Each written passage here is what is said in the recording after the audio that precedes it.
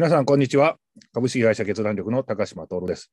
今日は友人の歴史講演家、黒田博樹さんをお招きしてですね、あの歴史講演、これやっていきたいと思いますので、よろしくお願いいたします。黒田さん、どうも、こんにちは。こんにちは。よろしくお願いいたします。お願いします。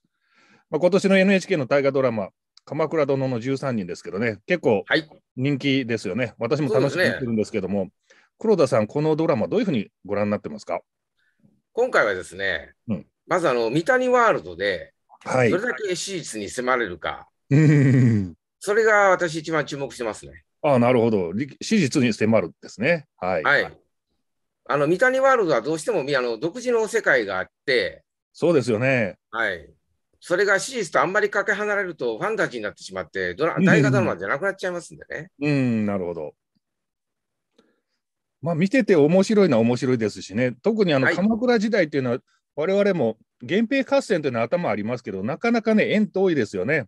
そうですよ登場ね。人物がこうたくさんいらっしゃるのでね、ちょっと分かりづらいところありますよね。はいその。黒田さん、どういうふうにご覧になってますか？確かに登場人物は、あの、たくさんいて分かりづらいんですけど、うんまあ、あの、普通はね、それをいかにして描くかっていうのがあった時に大事なのは、うん役者一人一人の個性なんですよね。ああ、役者の個性。はい。で、その辺はさすがに三谷さんでうまいことやってるなと思うんですよね。うまいですよね。はい。特にあの真田丸とか、その前の新選組、ここちはいらに起用された役者さんが同じような感じで出てらっしゃいますよね。はい。はい。おそらくは三谷さんがその俳優の個性をずっと研究してこられて、うんこの人だったらこういう演技できるだろうできるだろはいうということをあらかじめ想定してはい。キャスティングしてるんじゃないかと思うんですよ。そうですね。あのあたり、私もうまいなと思って見てますね。はい。しかもまた新しい役者さんがそこに加わってですね、なんか面白いね、雰囲気出してますね。まあ、個人的に好きなのが、あの、北条時政役ですよね。はいはいはいはい。さんで、私も全然知らなかった方なんですけど、あの、ダメ親父っぷり。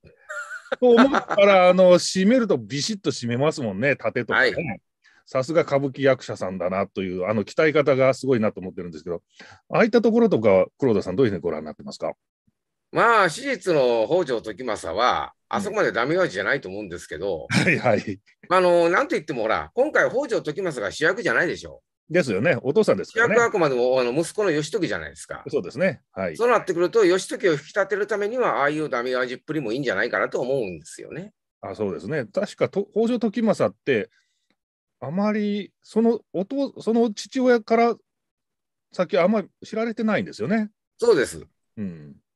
あのそもそも北条時政っていうのは、あ生まれてからの話ってほとんどなくてね、ですね。いつ生まれたかはい正確には分かってないんですよね、確か。はい、頼朝の舅からスタートしてるわけで、そうですね。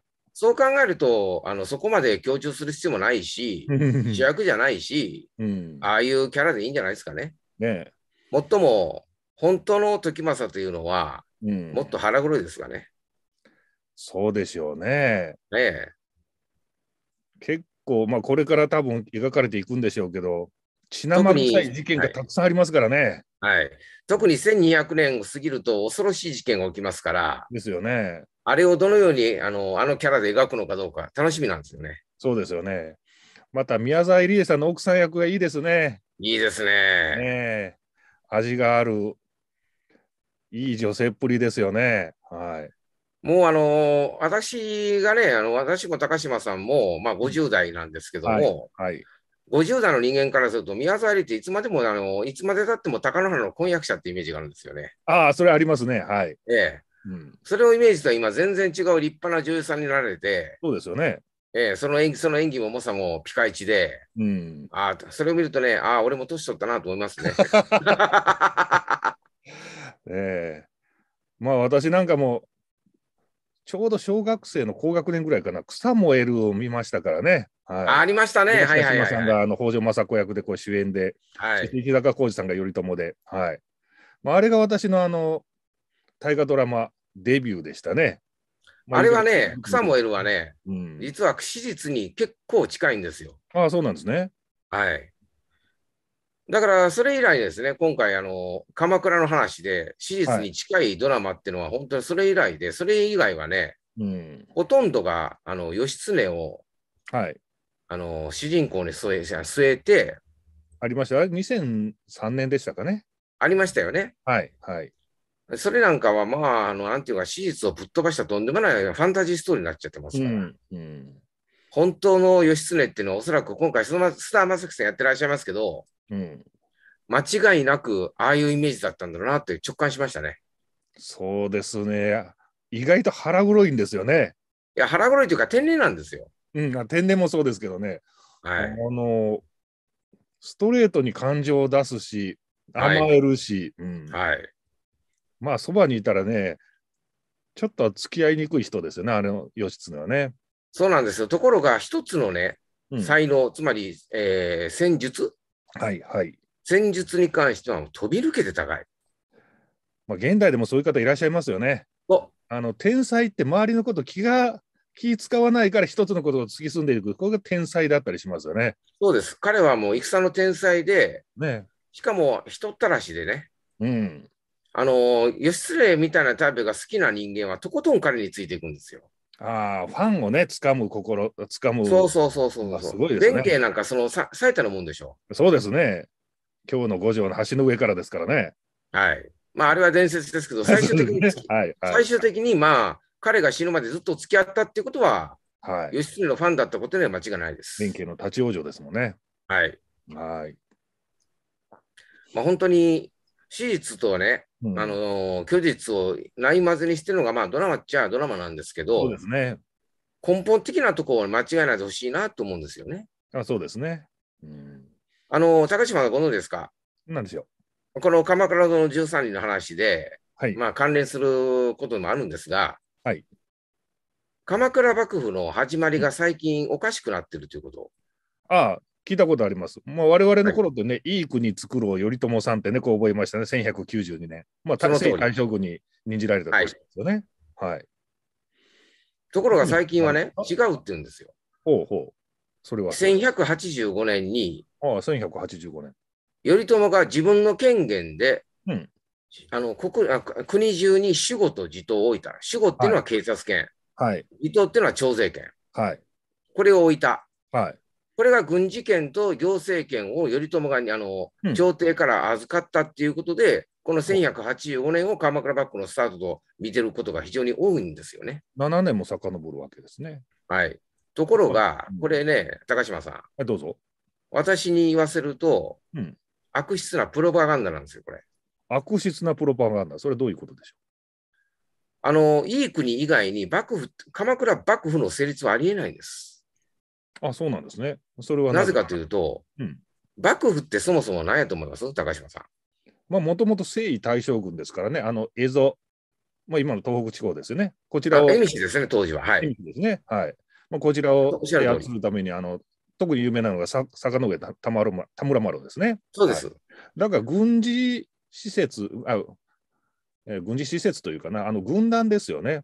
で、その大将がいる周りを幕で囲ったから幕府と言われたというね、聞いてますけども。はい。その通りです。もともとこれ中国の依頼なんですよ。はい、はい。中国で諸葛亮孔明とか遠征したときに、うん同じようにテントでしあの臨時基地作ったでしょ。はい、そうですねそこ。からが由来です。はい。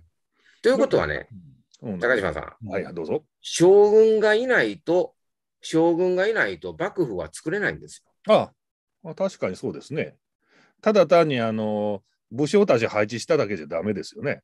はい。うん、誰がその幕府のこの布の中にいる大将の席座るかって、これいなかったら話にならないですね。そのこと。で、それを選ぶのは朝廷なんですよ。そうですね。当時はそうですね。征夷大将軍は朝廷から任じられてということですよね。はい。ということは、幕府を開こうと思ったら、1192年に将軍に、頼朝が将軍にならなければ幕府は開けない。うん、少なくともそれ以降ということになりますね。そうです。はい。はい。で、これは実は、幕府の始まりだけじゃなくて、終わりともつながっているということですか？確か、鎌倉幕府は100いや、鎌倉じゃないです。江戸幕府の終わり。あ、あ江戸幕府、そうですね。あの、大政奉還ですからね。はい。であれ、これもう、これ、これ、これ、これ鎌倉の非常にこだわる話なんで、こだわるっていうかね、非常に密接な話なんでお尋ねしますけど、はい。大政奉還っていうのは、うん。大政っていうのは国の政治。そうですね。奉還は返し立て祭るですよね。うん誰にですか？朝廷に返し立てまつったわけですね。そうですね。はい。で高島さん、朝廷に政治の実権を返すということは、一つしかないですよね。将軍の地位を返上する以外ないでしょそうですね。その辞任をもって大政奉還というかですね。う。それを慶喜自らが申し出た、徳川慶喜自ら申し出たということは、もう将軍の辞任以外に他なりませんから、ね。はいはい。この瞬間、世の中に幕府が消えるんです。確かなんでもこれ、慶喜はみ分かってやったことなんですよ。に。そうですね。なぜかというと、薩長何もらってましたっけ、その時に。錦の御旗。いや、そのそれより前、倒幕の密直。はい。倒幕の密直は幕府を倒すための秘密の命令書でしょ？そうですね。その倒幕の密直せっかくもらっても、その幕府がなくなったら、倒幕徳川家倒せますか？いいですよね。倒幕が消えますね。ただのその通り。実は慶喜はそれを狙ったんです。はあはあはあ。空振りですよね。社長から。慶喜は大政奉還することによって、薩長のば倒幕の口実をなくすことに成功したんですよ。そうですね。はい。そう考えると、鎌倉幕府、まあ一番、まあ、鎌倉、室町、江戸とこ3つの幕府ありますけど、はい。じゃあ、幕府のスタートはやっぱり征夷大将軍になったということですね。それ以外にはありえません。論理的ですね。あの、はい終わりが、終わりを調べたら、初めがちゃんと出てくるんですよ。ああ、この視点は私も初めてです。確かにそうですね。うん、確かに守護地を置いただけじゃないですね。そうです。うん守護地と置いただけでは単なる私的な、私的な政権であって、はい。どんだけ頼朝が偉さのこと言うても、うん。結局は東国で勝手にやってるだけに過ぎないんですよ。平の正門みたいなもんですね。親王そうです。もう、はいそのおっしゃる通り、平将門の親王みたいなもんですよ。うん。それが朝廷公認で幕府を開いたことによって、で天下に名を轟かせることに成功した。はい。そうなんですね。いやいや、深い話ありがとうございます。いえ、あと、これ、三谷ワールドがね、うん。この辺りをどのように描くのか、私は非常に注目します。そうですね。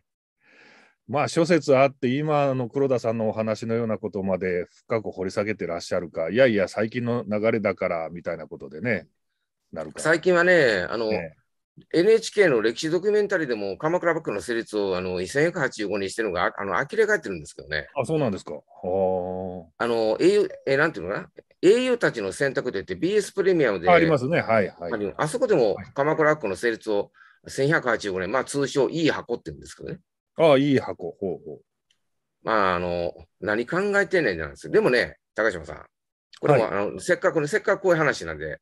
うん。じゃあなんで、はいいい国を最近避けようとしてることですか？これ、理由、私は理由があると見抜いてます。うんそれはどういうことでしょうね？あのーでひ平べったく考えてみましょはい。う。頼朝はうん。関東でどんだけ偉そうに政権を持っていたとしても、うん。朝廷から征夷大将軍に任命されないと、うん。天下晴れて公的な政治組織を作ることができないんです。当時はそうですね。はい。はい。でまあ、朝廷のトップにいらっしゃるのはねもちろん天皇。天皇ですね。ということは清盛は太政大臣になりましたからね。そう。はい。だから清盛も大正式な丈夫大臣になってるから、平成政権ができてるのと一緒なんですよ。すね。はい、正式なあの朝廷の役職ですからね。そうです。うんだから清盛もおっしゃる通り、太政大臣になったから、平成政権っていうのが公的に認められてるんですよ。はいはちなみに、あの、秀吉も関白になって、これでもう秀吉政権できてますからね。あそうですね。はい。はい。一緒です、太政大臣も関白も。そうですね。はい。まあ、話を戻して、うんそうなってくると、うん頼朝とあんだけ偉そうに武家に対して偉そうなことを言った頼朝といえども、うん。天皇に自分の立場を認知してもらわないと、正しい政権を作ることすらできない。そうですよね。まだしえ荘園とかがありましたからね。自社荘園があった時代ですその。荘園とか飛び越えれ飛び越えて、うん。全国に命令、しかも天皇の後ろ盾で全国に命令することができないと、うん。頼朝といえども権力は発揮できない。そうですね。自社、ちょあの公家が反抗したら、それを突破できるのは朝廷の後ろ盾というか、権限があってのものですね。そうです。うんいざという時に朝廷の後ろ盾があれば全然違いますからね。それはそうですね。はい。それから、後ろがあの将軍から、それが天皇から任命された将軍の地位の重みなんですよ。はい。それを気が、それに気がつくと、こういう結論なんです。それは？頼朝といえども、天皇の権威には逆らえなかった。天皇あっての頼朝だと。そうですね。これを左翼の歴史学者がどんな目で見てるかってこと。ああ、そういうことか。はい。天皇制否定というところから来るわけです。その通り。はい。だからいい国は絶対に彼らは認めないんですよ。まあ、日本の歴史学会の歪みというのは結構、ね、伊沢智元弘さんはじめとしていろんな批判ありますけど、まだ残ってるんですか？はい。うん、もういい国は、いや、いい国に反対する理由はこれしかない。だって、大政奉還を知ってたら、うんなもういい国以外ないんですよ。そうですよね。はい。三つの幕府の終焉というのは、徳川慶喜が大政権返上した、大征夷大将軍を辞任したということですから、まあそれだったら就任した時とかないですよね。んそうです。うん誰かが就任してスタートさせたから、しあのはい慶喜が将軍の地位を返上して終わったんですよ。そうですよね。坂上田村丸は単なるしあの武家の将軍でしたけど、もうそうです。あれは単なる軍事あの軍事権しか持ってません。んですよね。はい。頼朝はもう政治ですからね。そうですプラス政治ですからね。ああ、そうですよね。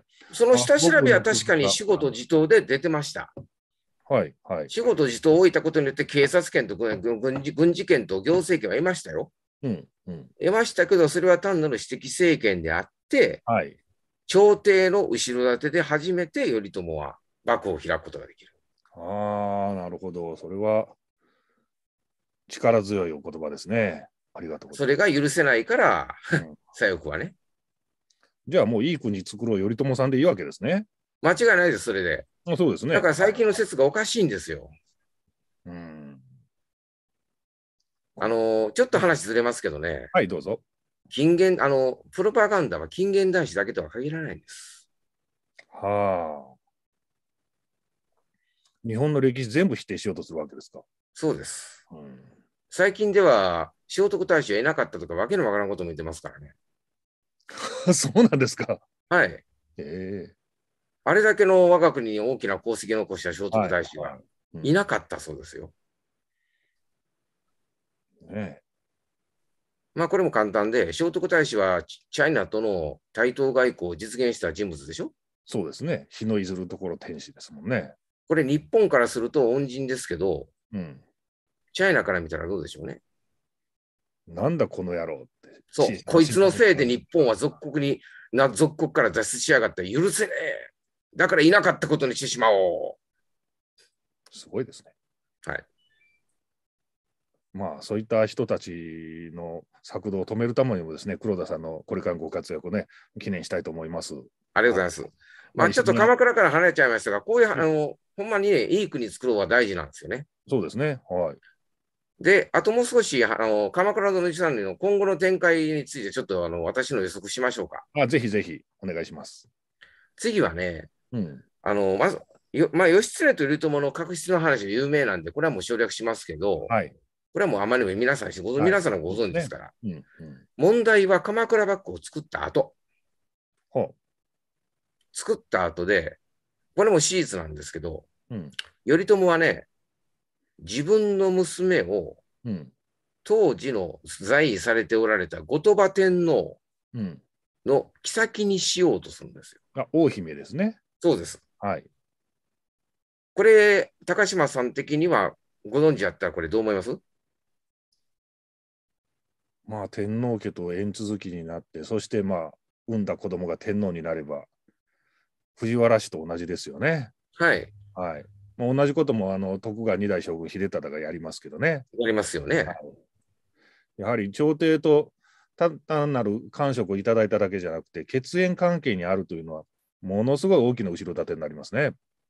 それをおっしゃる通り、高島さんのおっしゃる通り、頼朝は考えたんですよ。うん。でもね、実はこれが源氏の終わりの始まりだったんです。ほう。それはなぜでしょ頼朝はね、う。うん。自分の立場を、あの自分があの天下を取る前は、自分の立場をある程度よく分かってました。ほ自分は流人であって、う。はい。北条その他の関東坂東の武士たちにまつあの担ぎ上げられた神輿に過ぎないと。はい。では、その神輿を見事に演じきって、うん。将軍にまでなった。なった。でもそこで彼はもう一つの欲望がうごめいてしまう。はい。それが今、高島さんがおっしゃったこと。ああ、そうでも、ねそれっていつか来た道じゃありません？そうですね。兵士が同じことやってどうなりました？建礼門院徳子様ですね。で安徳天皇が生まれて、そして壇の浦の海に沈んでいったわけですね。そうです。恨みを一身に受けちゃったわけですね。そうです。う同じことを実は頼朝がやってしまった。はそれで、その1199年の1月、あ。うん。頼朝はうん落馬で命を失ったことになってるんですが、そうですね。いくら、皆さん、あの、いくら政治的の方が能力高くて武あの武将としてはいまいちやった頼朝でも、源氏の棟梁が落馬で命を失いますか？簡単に。ほど野掛けしていて、激しく走っていて、下に石が落ちていて、ゴツンとやらないとあげれば無理でしょうね。で、これね、ほ不思議な話があってね、うん。鎌倉幕府の功績を歴史物語にした吾妻鏡ってあるんですよ。はい。はい。実はこの吾妻鏡ね、頼朝が亡くなった前後のうん。話がうん載ってないんです。はあ。本能寺の変のあたりと同じですよね。はい。つまり頼朝は落馬して死亡した人という事実しか書いてない。事その至る経緯がまるまる、るで書いてない。うん公式発表がそうであったということですよね。言ってみそういうことです。ということは、その通り。わかんないけど。はい。いわゆるあの戦前の大戦前戦中の大本営発表みたいなもんですよ。はいはいはいはい。それが落馬事故で死んだ。うん。でも、頼朝が亡くなった後、源氏は絵に描いたような凋落を絵絵に描いたような凋落ぶりで、うん。20年後の、えー源実朝の暗殺によって、源氏の血は絶えますわな。そうですね。三代でね、鎌倉幕府、源氏の将軍が絶えますね。そこに私はヒントがあると見てます。はあ。面白いですね。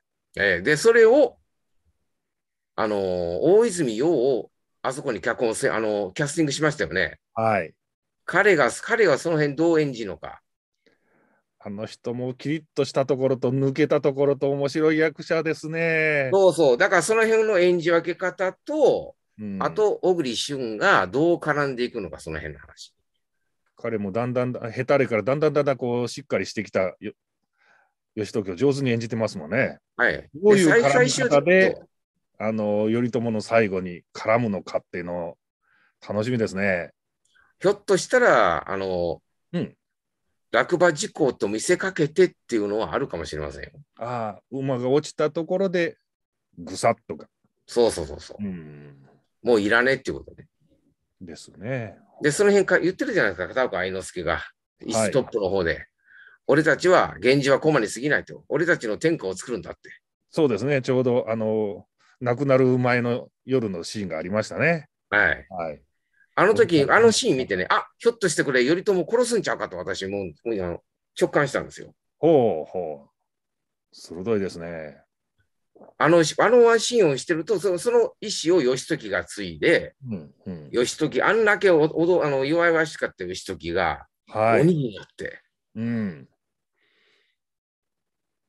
あり得るんじゃないかな。の考えていることは、武士とか農民のためじゃないというふうな気持ちになるかどうかですね。そうです。うん、楽しみですね、ますます。そう思う。あの別に私 NHK のスカイパーシリーズでも何でもないんですけど、はい、はい。楽しみなものは楽しみですからね。またそういうのがうまいのが、三谷幸喜さんの脚本ですもんね。伏線だから三谷ワールド解説しますからねがどこまで。それを描いてくれるか。ああ、楽しみですね。あの、5年、6年前もね、うん。案外家康ってのはコミカルで臆病者だったっていうね。そうですね、真田丸のね、うはい。西洋さんのあの伊賀越えのシーンなんか面白かったですね。そうです。うん。あれなんかもう、うまいこと描いてるなと思いましたから。はい、はい。まあ、あたぬきわいじって言いますけど、うん。なんだかんだって命惜しいですからね。そりゃそうですよね。友回りがまあ数十数人でしかいないんですからね、そんな中でポツンと離れたところで野党に襲われたりされたら本当困りますもんね。うん、なんかそまあ、それを経験して、たぬき親父になったんじゃないかなと思うんですよね。ああ、そうなんですね。でもそのたぬき親父でも真田丸の突撃、真田丸じゃないや、あの、信繁の突突撃にはビビったっていうね。そうですね。うん、まあ、それも大きな経験してですから、今回も義時が、小栗旬さんがどういうね、経験を積み重ねて、はい。はい、まあ、とりあえず、あの、えー、草間彌蔵よ、義経が、うん、あの、空気読めない人物として描いていることは評価、大いに評価します、今回。そうですね。草間彌の時は国広富樹でしたけど、彼も空気読めない人物でしたから。そうですね。でも、あの人は男前ですからね。ええ、まあ当時の時代背景もありますから、吉純はあんまり悪く書けないですけど、今回の菅正樹さんは結構天然ですもんね。はい。うん、あの人、でもあれもね、あの人だからこそのキャスティングだと思います。あそうです、そうです。はい。数年前あの人だったらまだ許される。そうですね。うん、数年前のいい直政役ね、女上司直虎のいい直政役も、はい、いい味出してましたけど、今回またそこからさらにぶっ飛んでますもんね。はい。もしあれを悪役、時代劇の悪役が出てきて、うん、もし同じようなことやっとったら、シャレになりませんやおっしゃる通りです。はい。うん、正真正銘の悪役になってしまう。本当ですよね。はい。そんなステレオタイプは、大河ドラマにいりませんから。そうですよね。まあ最近は歴史に興味を持つ方がね、たくさん増えてきたし、歴史番組増えてますから、皆さんも目が肥えてらっしゃいますからね。そうそうそうそうそうう。ん、ある意味、それがよくも悪くも時代劇の衰退理由になっちゃったんですかね。あそうですね。はい。でも NHK の大河ドラマでそういうふうに史実にのっとって、うん、なおかつバラエティ的に描くっていうのはいいいいことだと思うんですよ。うん、味付けですからね。はい、素材の良さは大事なんですけど、やっぱ味付けって大事ですもんね。はい。口当たりの良さとかね。そうそうそうそう。とか、はい。まあ特にテレビがだんだんだんだん視聴率が落ちてるという時には、もうそういう見た目っていうのも大事ですもんね。はい。まあ、その意味では今回の三谷 R はなかなか視聴率取れてるっていうのはまあ当然かなという気がしますよ。はい。ありがとうございます。はい。あっという間に20分以上経っちゃいましたね。はい、本当ですね。はい。はい、ありがとうございました。じゃあまたお届けできる日を楽しみにしてます。今日は黒田博さんでした、はい、どうもありがとうございました。どうもありがとうございました。またよろしくお願いします。お願いします。